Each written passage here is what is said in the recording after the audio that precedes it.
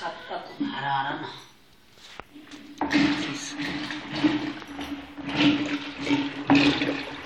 Thank you.